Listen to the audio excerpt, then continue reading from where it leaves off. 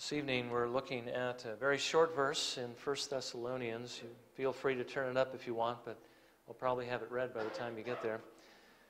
1 Thessalonians chapter 5, I just wanted to read um, a few verses here, 16 through 18. Paul writes, Rejoice always, pray without ceasing, in everything give thanks, for this is God's will for you in Christ Jesus. May the Lord bless his word to our hearing this evening. I do want to focus on uh, verse 17. And actually, this, this sermon is not so much about uh, just praying without ceasing, although that's certainly a part of what we're going to be looking at. But it really has to do with how we are to pray to the Lord. And I hope that even though there's a great deal in Scripture about this, the, the particular points that I've selected this evening will be enough to encourage us and get us going in the right direction. And again, I, I, believe that this is a part of what it is we've been looking at and what it is we've just been praying for. That the Lord would help us to put on the Lord Jesus Christ, which means to become more like Him and to become less like the world, less like what we were when we came into the world. Make no provision for the flesh with regard to its lusts. That's what sanctification is all about. The work of the Holy Spirit in us is to make us like our Lord Jesus Christ. Now, we have seen that in order to do this, in order to be like Jesus, really whose life is characterized by love, we do need to be filled with that love of the Holy Spirit. And last week, I believe, we uh, saw that particular point that um, we have to be careful not to allow any of the influences of the world, the sins that we would commit, the, the uh, things we might indulge in that are evil in the world to quench the work of the Holy Spirit. It is like pouring water on the flame or on the fire of our love and devotion for the Lord. If you want to love Him, you want that fire to burn brightly. If you want it to burn brightly, you don't pour water on it. But obviously, there's more to it than just not quenching the flame, we also need to feed the flame.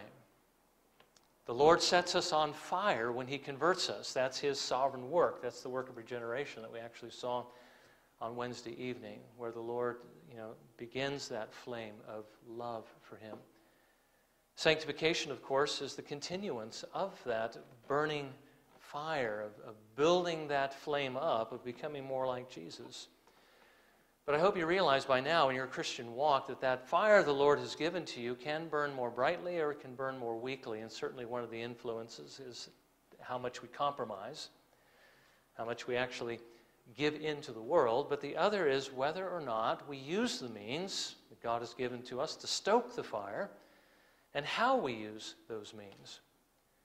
Now, I do want to remind you that there's a lot of things we could talk about when it comes to prayer you know, how basically, you know, what are the elements of prayer and so forth? What is prayer? And, and of course, the uh, very important question of why, why we should pray. And that, for that, I would refer you to the study that Greg did, the 52 reasons why we should pray. There's certainly plenty of reasons. Now, what we're focusing on this evening is because prayer is going to make us more like the Lord Jesus Christ. But not just any prayer is going to do has to be done in a particular way. And that's what we want to look at this evening. Now, certainly a series like this, talking about the means of grace, as you know, if there's 52 reasons why we should pray, probably there's probably more, and we could think of uh, different elements of prayer, and we could talk about maybe 52 ways to pray, and so forth. We, we don't want to spend so much time in it that we lose the forest for the trees in this particular study. We want to get a good overview. So we're going to get, a, hopefully, a good shot in the arm tonight if you have those outlines, I don't know how many of you have them, you'll see there's something like 11 uh, points, 11 how to's on there, and that should probably give us enough to get started. But we do need to realize that as long as we're in the world, we're going to need prayer for a variety of reasons. And certainly, if you want to be like Jesus, you've got to pray. So, how should we pray? Well, again, you have 11 things in front of you. You should pray constantly, fervently, from a holy heart, humbly, in faith, expectantly, sincerely, and secretly, corporately, with the Spirit's help, with God's glory first in view, and as we just did this past week, or actually yesterday, it was no, it was yesterday, it was yesterday and the day before, with fastings. Now, again, with 11 points, we're not going to be able to dwell very long on each one of them, otherwise, we're going to be here for a very long time. So I'm just going to deal with each of them uh, briefly. Now, our text this evening tells us that we need to pray without ceasing. And I realize that there are some Christian denominations that believe that what that means is that you have to be praying every single moment of your life. Uh, perhaps you've noticed some of the um, grace, grace brethren ladies that walk around with the bonnets on their head and so forth.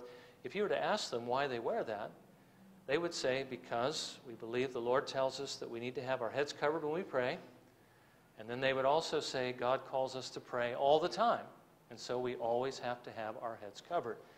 Uh, that's, again, their reasoning. But I don't believe that's exactly what the Lord means when He says, pray without ceasing. If that were the case, we wouldn't be able to sleep. We'd have to be in prayer all night. We wouldn't be able to work or focus on anything else because we'd be constantly praying to the Lord. Although I do think it would do us a lot of good to pray more than we do.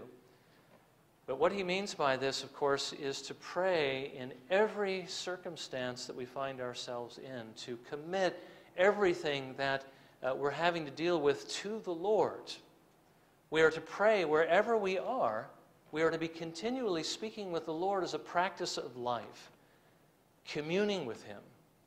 We should really be aware of a constant connection that we have to the Lord. We should always be speaking with Him and listening for His voice, especially, of course, in His Word.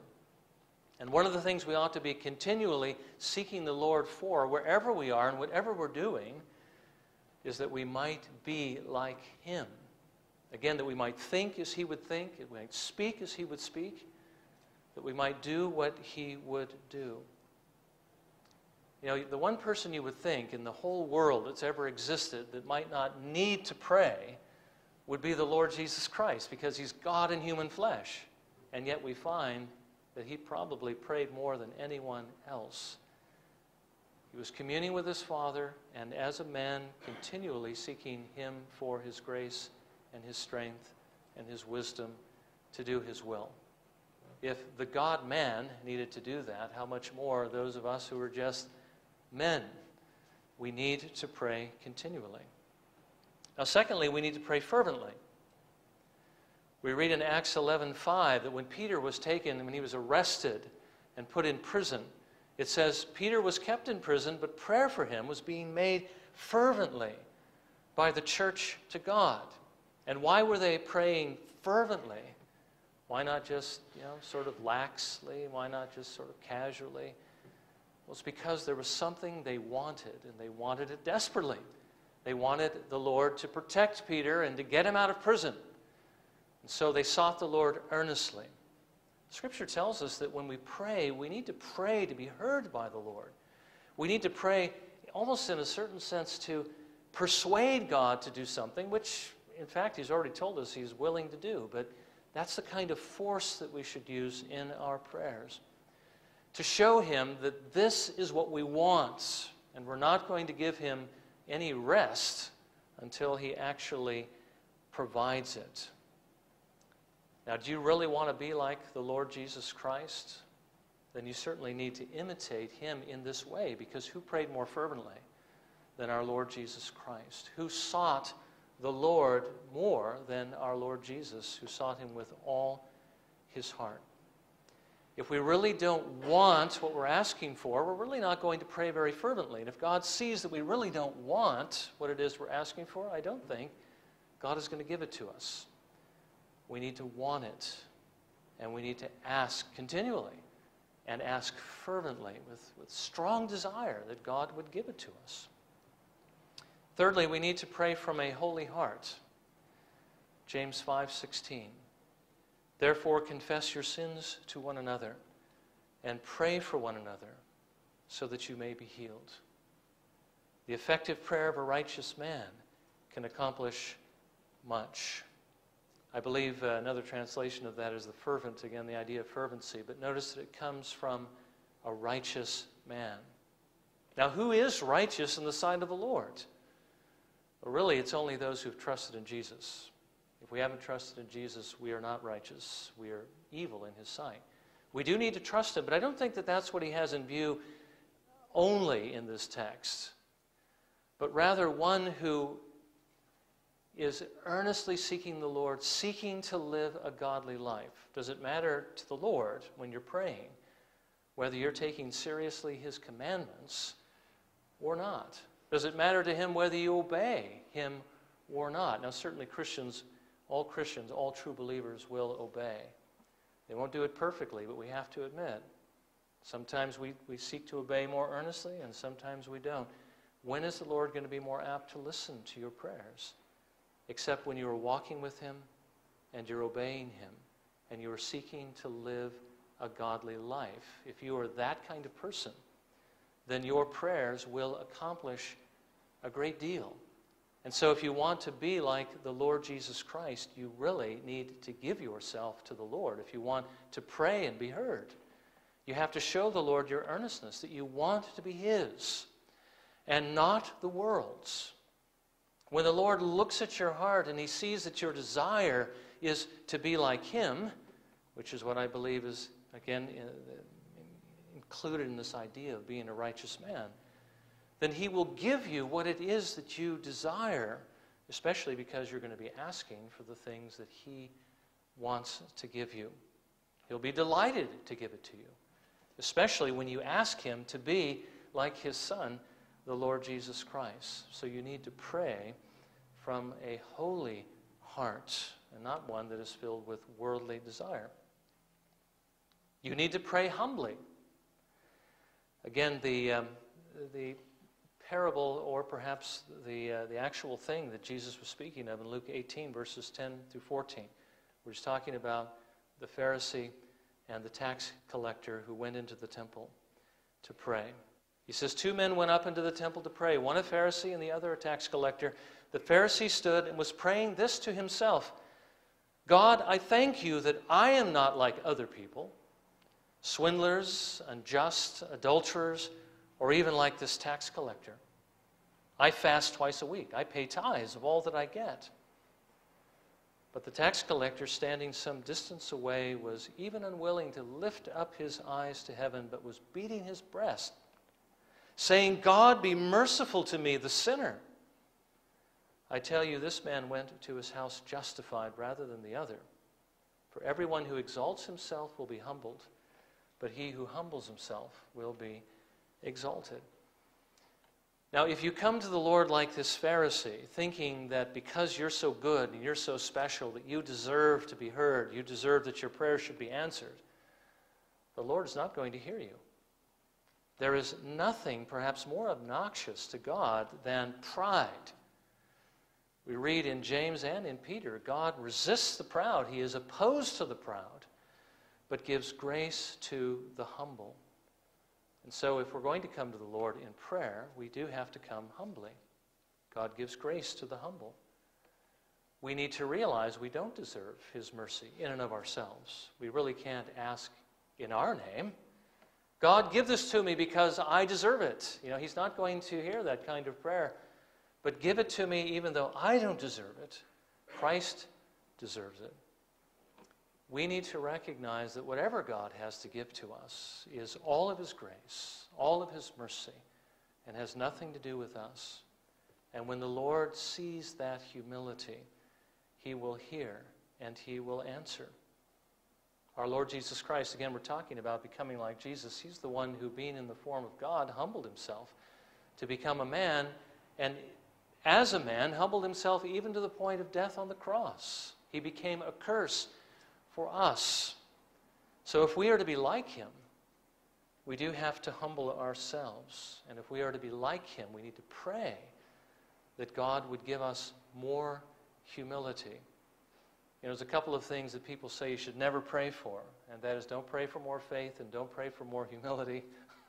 but the fact is, if you do and God answers that prayer and He gives it to you, I mean, that's, that's exactly what you should want. If that's what you need, He'll give it to you.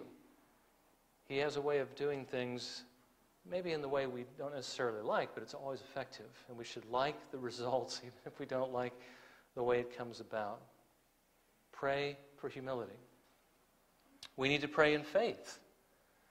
Mark 11, 24. Jesus says, Therefore I say to you, all things for which you pray and ask, believe that you have received them, and they will be granted to you. Now, I don't believe that the Lord is going to answer, He hasn't bound Himself to answer uh, those, of course, who simply pray for themselves and pray for the things that they want that aren't actually given in the Word as a promise to us. I mean, if we're to pray in faith, we can't say, God, I want that pink Cadillac or I want that silver Mercedes or whatever it may be, you know, that, that we think is such a great thing. And if I have enough faith, God's going to give it to me. I can't have faith that God is going to give me those things unless He's promised to give me those things. And I don't find in the Word anywhere where He says He's going to meet all of my lusts and desires in that way. Rather, He tells me He's going to thwart those things, and rather, He's going to meet my needs and give me what I need to be godly. Well, the Lord has actually made a promise to you and to me that if we trust in the Lord Jesus Christ, that he will make us like Jesus. Remember, Jesus is, is uh, the firstborn among many brethren. And if he's predestined you, he's predestined you to become conformed to the image of his son. We know that that's God's will. And if you know it's his will, if you know it's his promise, that's something you can pray and ask for, knowing that God wants to give it to you. Knowing that when you ask, you have received because you have asked according to his will. You do need to pray in faith. And again, remember that if you ask that God would give you more faith so that you can pray in this way, that he's going to bring something into your life, just exactly what you need to make you more like Jesus Christ. So we do need to pray in faith. Now, the next one is kind of like it, but it has a little bit of a different twist in Luke 18:1. Now, he was telling them a parable to show them that at all times they ought to pray and not to lose heart. And the parable he goes on to express is the woman who came to the unjust judge. And she says, Give me safety from my opponent, give me relief. And the unjust judge looked at her and said, This woman is wearing me out. I really don't want anything to do with her, but because she's continually coming to me, I will give her what she wants. Then the Lord said, Listen to the unjust judge. If he's going to um, give this woman what she wants because she's just simply being persistent, how much more will God give to you who are his children, who cry out to him for what is good and what is right? How much more will he answer your requests? In other words, there is this expectation that the Lord will hear and he will answer. And by the way, that is an aspect of faith, isn't it? When you pray according to God's will, and you know you're asking for something He's promised to give to you, you should expect to see the answer to that prayer. You should, on the basis of what Jesus Christ has said in this, in this parable. If an unrighteous judge will listen to this woman who's constantly bothering him, how much more when the saints bombard the throne of grace, asking God for things He's promised? One who is just how much more is He going to answer your prayers? You should expect that He will answer them. And so when you pray, don't pray doubting, but pray expecting that God will hear. Again, He's promised to make you like Jesus. You pray and ask that. You should expect to see the changes taking place in your life. Now, you should also pray sincerely and secretly. Matthew chapter 6, verses 5 and 6. Jesus says, When you pray, you are not to be like the hypocrites, for they love to stand and pray in the synagogues and on the street corners, so that they may be seen by men. Truly I say to you, they have their reward in full. But you, when you pray, go into your inner room, close your door, and pray to the Father who is in secret and your Father who sees what is done in secret will reward you. Now, certainly, this tells us that when we pray, we must not pray to be seen or heard by others. to impress other people with, with our particular you know, eloquence or our piety because we're asking for certain things. Nor do I think that the Lord intends for us in our prayers to instruct other people as far as what they should be doing. We need to pray to the Lord, directly to the Lord, sincerely, from the heart, as though He is the only one listening to us, and I think we should do that under any circumstances. But one of the things that the Lord points out to ensure that it be, that He be the audience, especially when you're praying for yourself, and you're praying that, that the Lord would make you more like Jesus, that you should pray in secret where only God can see. Do most of your soul searching prayer in the closet with the Lord, and not openly for others to see because if you do it in the closet, only the Lord will see it. And if you're doing it in the closet, if you're doing it in secret, that means you really do want to be like the Lord Jesus. And you're not just saying that so that other people say, wow, you're pretty holy. You want to be like Jesus, right? I think the next point kind of brings us out a little bit more clearly when Scripture tells us we should also pray corporately, not just secretly, but also together. Acts 1:14. These all with one mind were continually devoting themselves to prayer along with the women and Mary, the mother of Jesus, and with his brothers. Of course, they were praying that God would fulfill the promise that he had made, Jesus had made. Uh, wait in the upper room and, and pray until the promise of the Father has come upon you, until you're filled with the Holy Spirit. Now, I do believe that most of the prayers that we offer to the Lord are to be offered in the closet. They are to be offered in secret. I think that should be the majority of our prayer. But that doesn't mean that we can't pray publicly. I believe the Lord wants us to seek Him together. We've already done that this evening as a part of worship. But I do think when we meet together, we should be meeting to pray mainly for one another and not just for ourselves and not just for our own needs and not just for our own desires. We should really, I think, spend the time in the closet doing that as well as praying for other people's needs. I mean, don't just get in the closet and pray for yourself.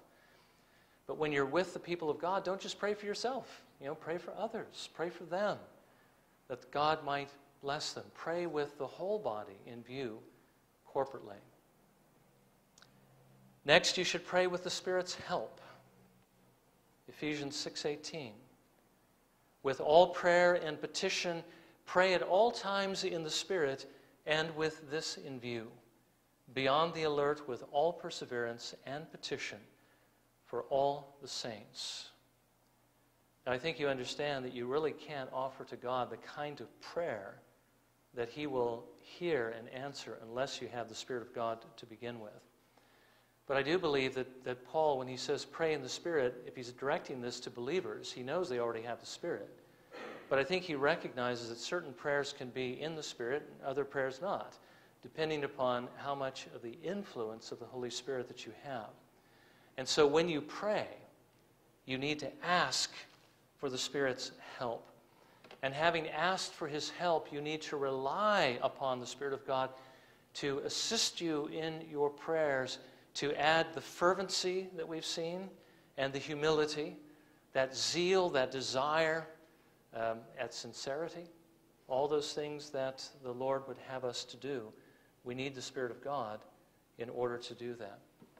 Now, again, if the work of the Holy Spirit is primarily to make us more like Jesus, then how much does the Spirit of God want to help us in this way? To pray as we should pray. This is something He will help us to do, so we should rely upon Him to do it. I think Scripture tells us that we should pray with God's glory first and foremost in view. Uh, Jesus, when he's teaching his disciples to pray, begins this way. He says, Pray in this way Our Father who is in heaven, hallowed be your name. Your kingdom come, your will be done on earth as it is in heaven. In other words, let God's glory be the burden of your prayers before you begin to hand him your list of the things that you might like to have. And certainly the Lord wants to hear what your needs are. Give us this day our daily bread and forgive us our debts and lead us not into temptation and so forth. But the burden of the prayer begins with God's glory. And we need to ask ourselves the question when we're praying to become like Jesus Christ why do we want to become like him? Is it for our own benefit? Is it again so that others can look at us and say how holy you are? Or is it that God's will would be done because this is what he wants from you? This is how he would be glorified. And by the way, if you think you become like Jesus Christ and you have the attitude, I hope people notice, you know, that shows that you're not really as much like him as you might hope that you could be. Because Christ is humble. And certainly, as humble followers of Jesus, he doesn't intend for us to draw attention to ourselves. So when we pray that he would make us like him, we should pray this for God's glory, that his will would be done. That's certainly what Christ's, the burden of Christ's prayer was. My meat and drink is to do the will of the Father, and his prayers were continually that his Father would be glorified through him. And that's what we need to pray as we pray to become like Jesus Christ. I hope you're taking notes here because if you just hear this and forget, it's not going to help at all. We need to hold on to the things that we've heard and seek to do them.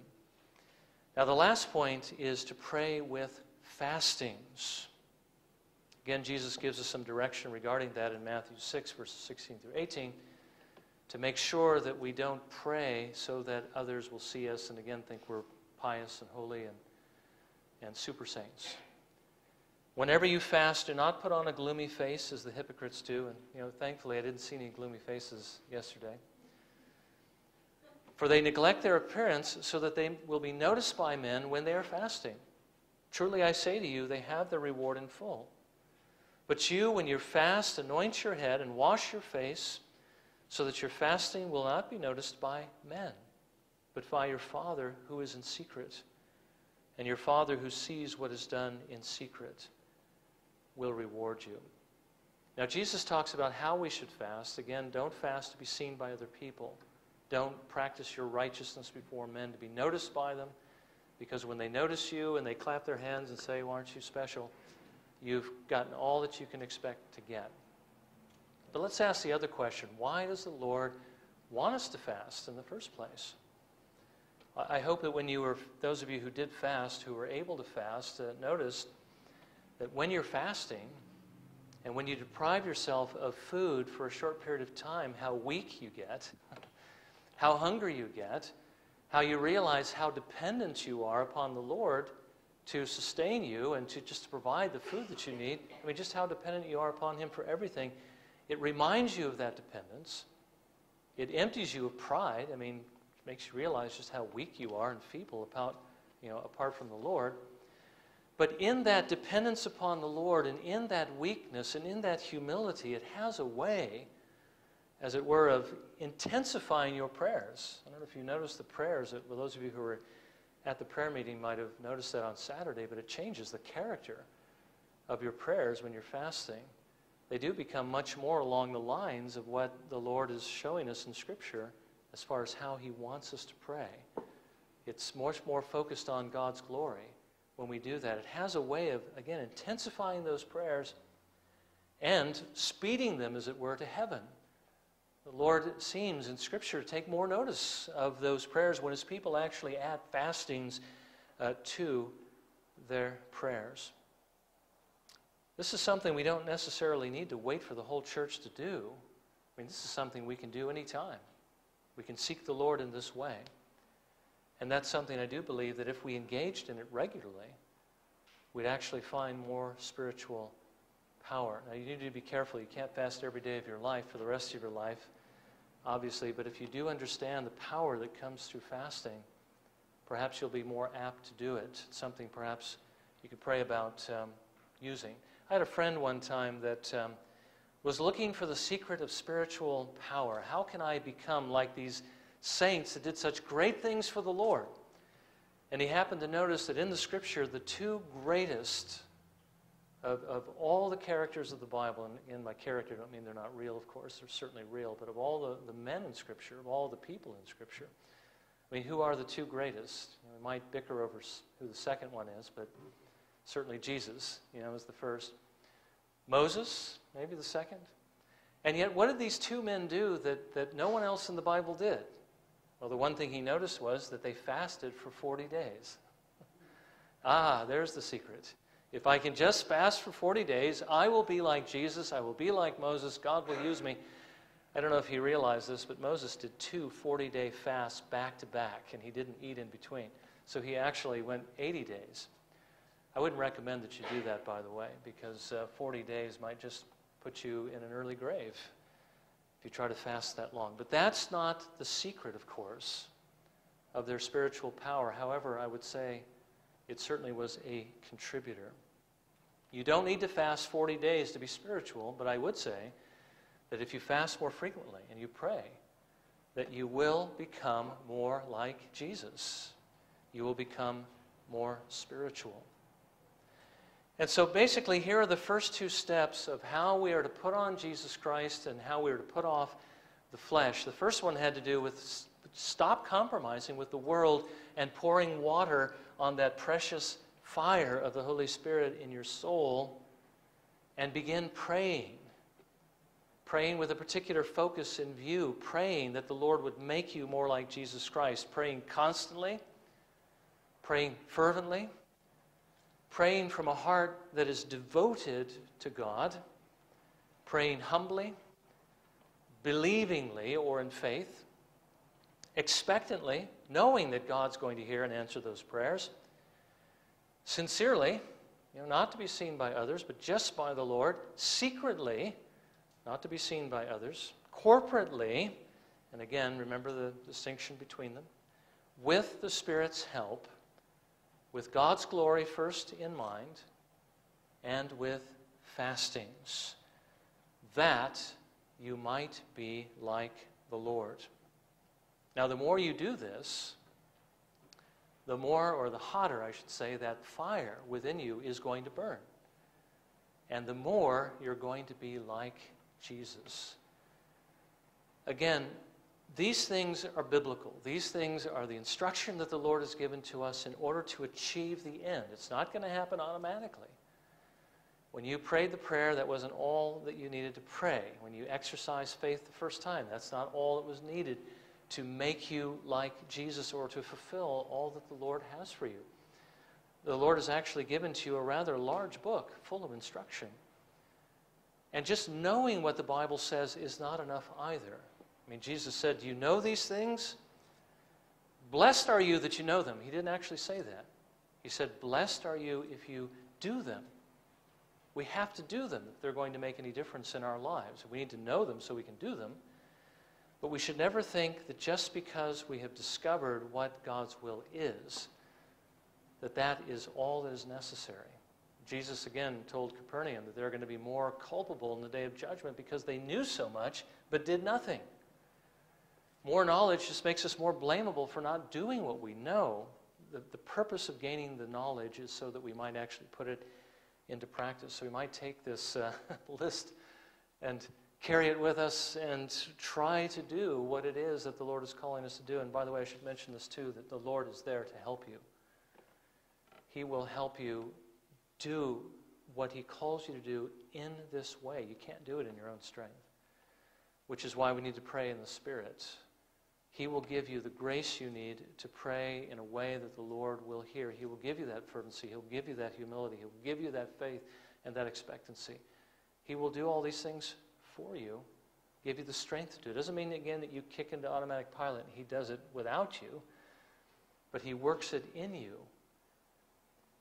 And that's what we need. We need that grace. We need that help. And the more we do this, again, it's like a virtuous circle the stronger we'll get. The less we do this, the weaker we'll get. It's like a vicious circle. So we need to stay in the right circle. We need to keep moving upwards. We need to keep praying that the Lord would give us the grace to pray in a way that would be most fruitful, that the Lord might make us more like Him. Well, may the Lord grant us that grace and that mercy uh, to do so. Let's, um, let's bow in a moment of silent prayer and pray fervently, humbly, secretly, and so forth, that um, the Lord would grant to us that we would be able to do what we've been exhorted to do this evening.